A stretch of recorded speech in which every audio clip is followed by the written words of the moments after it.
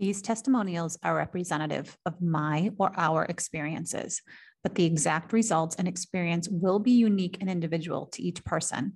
The information provided herein is not medical advice and is not intended to substitute for the advice of your personal physician or other healthcare providers.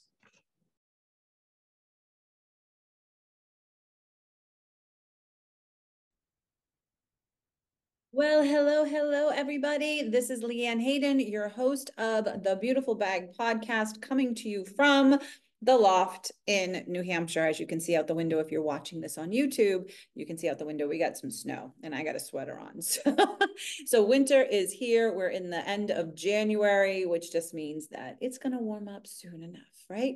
So, this week, I'm going to be coming at you in this solo, solo episode with some stats that I learned last week that I found so interesting that I think you are going to find interesting as well. So, we are the Beautiful Bag podcast is a global podcast. And as you know, if you've listened to this over the last, we're in our fourth year.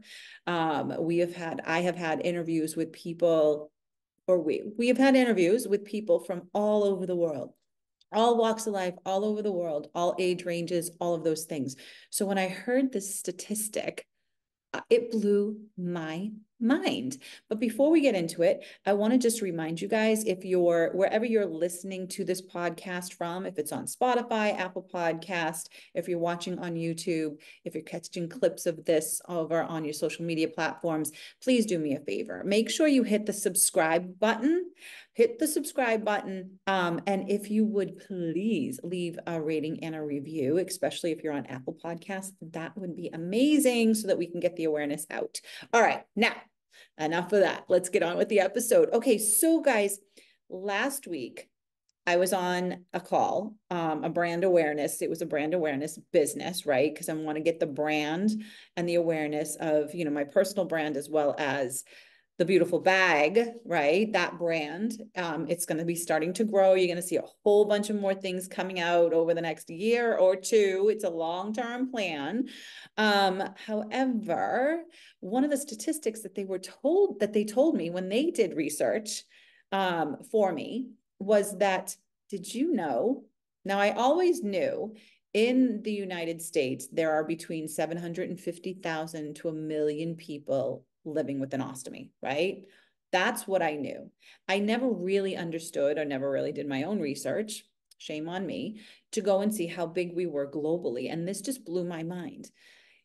Because when I first got my ostomy eight years ago, over eight years ago now, I didn't know anybody who had an ostomy, not a single person. So when I heard about it and then I researched or I started looking it up online, I'm like, there's not many people out here in an ostomy. And I thought I was going to be alone. Now, eight years later, right, because of social media and because people are being more and more vocal about being in an ostomy, I've met so many more people. So I knew the community was growing and then working as I do as closely as I do with Hollister, right? Hollister Inc., the manufacturing company for, um, for bags. I started to learn more and more about the community.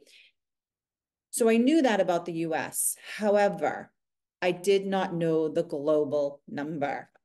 I did not know the global number. And I'm wondering if you know the global number. If you're watching this before I tell you the global number, write in the comments, put in the comments how many you think it is. I posted on social media if you want a little hint. I posted it on uh, Facebook and on Instagram the other day because it blew my mind. Ladies and gentlemen, 13.5 million people, 13.5 million people around the world are in an ostomy. Does that not blow your mind? Does that not that number, 13.5 million ostomates around the world. And we happen to be one of them. That can almost bring tears to my eyes because we think, or at least the people that I've spoken to in the beginning, when you're going through this process, and you may be listening to this, we think we're alone right? We don't know anyone else that's out there. We may start to search on social media. We may find some people out there. We may find people who have you know, we, there are ostomates out there and then have millions of followers, right? Hundreds of thousands of followers, millions of followers out there. And we know this, but are they all in ostomy, all in ostomies, or are they just following people because they like the content, right? We really don't know. What was that number? 13.5 million people, and you're one of them. Or you may be listening to this podcast going, I want some more information on what life is like to be in an ostomy. And now you know. There are so many of us out there. And so one of the things, and I have notes, right? I actually have notes with this podcast, which I usually don't. It's usually like, hey, let's have a conversation. This one here, I'm like, I need some notes on this because one of the other things that I found out was it is 45% female and 55% male. Now, I don't understand why there's, you know, it's basically 50 50, right? 45 55, same thing, right? It's basic, that's basic. I did have not had the breakdown of age ranges or diseases or things like that. And that's another thing that I'm actually going to go in and, and start to research.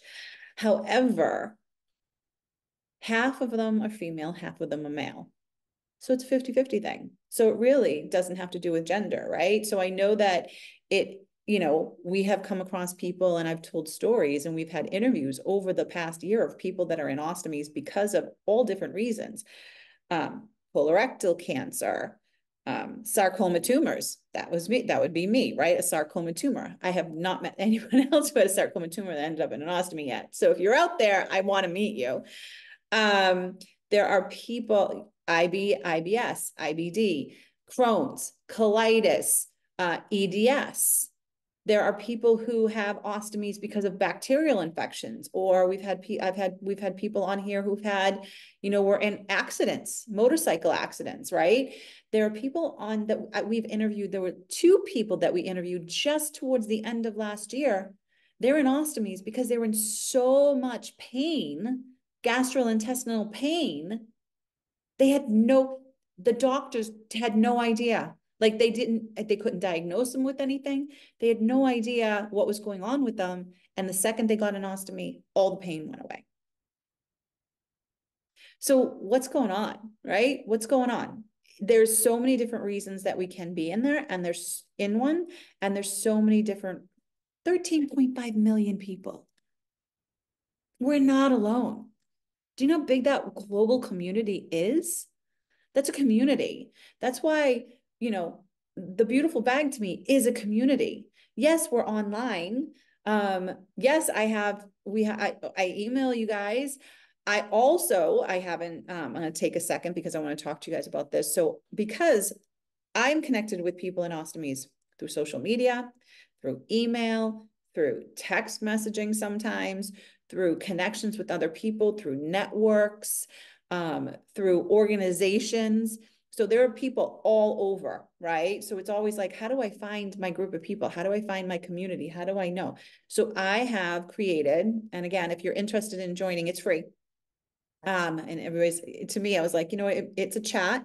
It's um the app is called Telegram. If you're interested in joining it, just go over to the website and shoot me an email or you know what, better yet, I'll put the link to it below in the show notes here on the show. And all you need to do is click on the button to join the community. You have to be in an ostomy. You cannot be in this in this community if you're not in an ostomy. This is for people who are actually in ostomies, okay? Um, and again, I'm doing it because, like I said, there are people that are in Facebook and they might be in Facebook groups, or there's people that aren't on Facebook. They might be looking at things out on Instagram or YouTube or emails, or you're listening to this podcast, right? And you're like, I need to connect with other people, but I'm not sure how. So I created a way to do that. So the link will be in the show notes for you to be able to, you know what, that I because I wanted to be ostomy focused, I'm going to put a link in the show notes for a survey. You have to fill out the survey to get approved and then you will get an email to be able to join the group there. I need to protect, and I'm only doing it because I need to protect us and the listeners. Um, so we'll do it that way, but there'll be a link in the show notes. All right, long story short.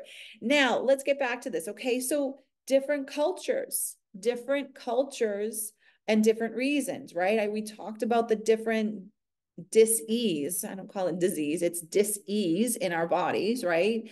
Of reasons why someone may be in an ostomy, right? Because our, our body is not at ease, right? So, but different cultures and different healthcare systems deal with it differently. I've had, we've had guests on here from different cultures and how difficult it was to make choices to be to be put into an ostomy because some cultures look at it as being dirty right um, which is difficult and that was an episode that we had last year as well different healthcare systems around the world impact ostomy care we talk about it a lot here um, in the community about how much more nurses and the healthcare system i shouldn't say nurses the healthcare system needs to be educated on ostomies. There are 13.5 million around the world, even though there's 8 billion people, right? That's enough people that you would hope that nurses would understand how to deal with things. And sometimes people come across it. Mean, we've had them on the we've had them here. We've had conversations about it where, you know, there's not a nurse. There's one ostomy nurse in the whole the whole state of Alaska. Who knew that? Right. So it is getting that, it's getting that out there, right? And again, acceptance and quality of life, right? Our quality of life, a lot of people that I've talked to that we've had here on, that we've had, they've had a better quality of life after having their ostomy in place. They can do things they could never do before. They can go out, they can leave their homes. You know, they were in their houses, stuck in their homes. So there's different reasons for it. Um, one of the things that I um, that I did, another thing that I learned or that I heard, I was having a conversation with someone a couple weeks ago, and they were telling me how they had to go to Japan. They went to Japan. Um, it was for work. It was, you know, it's in our, it's in in the ostomy industry, and they they went to Japan and were doing some work, and they really got to know the nurses and the doctors, and they were so surprised in the con in Japan, the country of Japan, the amount of people that were in ostomies because of cancer in Japan. It's a small island, but there were so many people, they were telling me, so many.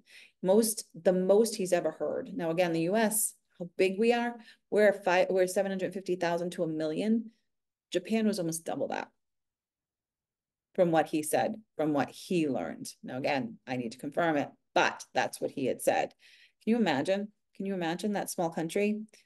And again, we're doing a lot from a global standpoint of educating, trying to learn to, trying to educate people, sharing stories.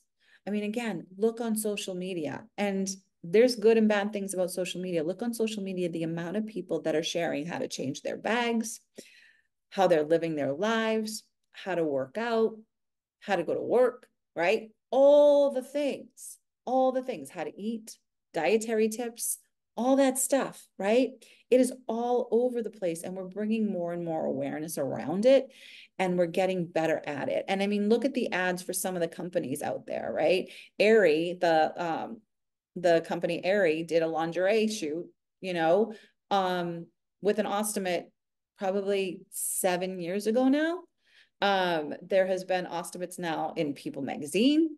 There's been Ostomates now on being featured um, in Maxim. Like there, we're showing up. People in ostomies are now showing up. So the awareness is starting to really, really, truly get out there. Um, and there's a lot of advocacy in every country has advocacy. We have global advocacy as well. And there's some resources and support that I'm going to talk about too at the end of this episode. So stay tuned for that. And then I'm also going to put links to them in case you're like, you know what, I need to know what organizations, things like that. I've got some of those too. So, you know, if you're listening to this, I'll urge you to share your story. Um, sometimes it's hard. It's not so easy. It's not an easy thing to do.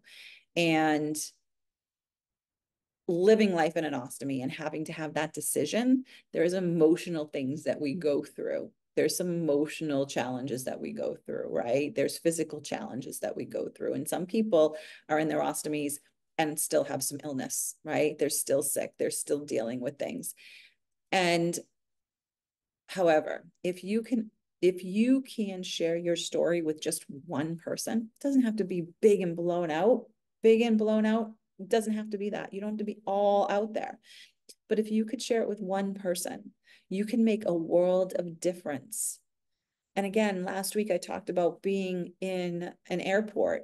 Last week's episode was about travel, but I talked about being in an airport and for the first time and seeing a man being patted down and he had an ostomy bag and his wife was having a panic attack. And I just told her I'm in one too. And it seemed to calm her down.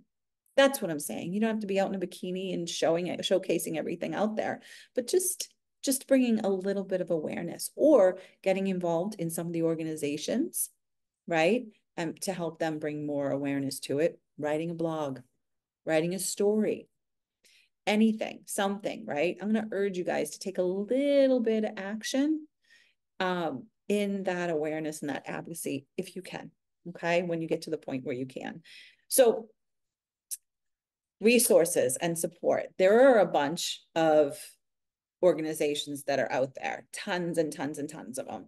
This is going to be ostomy focused, uh, ostomy focused for now. Okay. So one, and the first one is all that I talk about is United Ostomy Association of, of America, UOAA. It's actually ostomy.org if you're going to look it up. Now, they're primarily focused in the United States, okay? So, of course, United the United Ostomy Association of America, right? However, that website, ostomy.org, provides resources that can be valuable for ostomates worldwide, guys. It includes educational materials, advocacy information, if you want to become an advocate, um, they they also have partner links to other organizations in other countries. Last week I mentioned to you, you can go to ostomy.org and you can even get a travel card. They have travel cards that you can print out and carry with you. So, oh, look, that just did a heart. That's pretty cool. Uh, if you're watching the video, you'll see what I mean. Anyways, um, so they have that, right? So ostomy.org is the United Ostomy Association of America. Um, they also just came out with they're going to be doing another conference, which we went to last summer. They do them every two years in 2025. So stay stay tuned for more details on that because last year was amazing when we went last summer and got to meet each other in person. It was so amazing. All right, next one I'm going to talk about is ostomy cancer. I mean, sorry, ostomy Canada, I can't even say the word Canada, Ostomy Canada Society. Okay. Now, this organization, it offers support. There goes my Boston accent. Office support, uh, education, and advocacy for Canadians living with an ostomy. Their resources and connections might provide insights and international collabs as well. Their website is ostomycanada.ca. Okay, so that's the second one. Third one, there is an international one, guys. International Ostomy Association. IOA. It's a global network of ostomy associations aimed at improving the quality of life for ostomates worldwide. They provide a platform for sharing information and resources across, countries and cultures. All right. Their website, ostomyinternational.org. I've got four more, five more.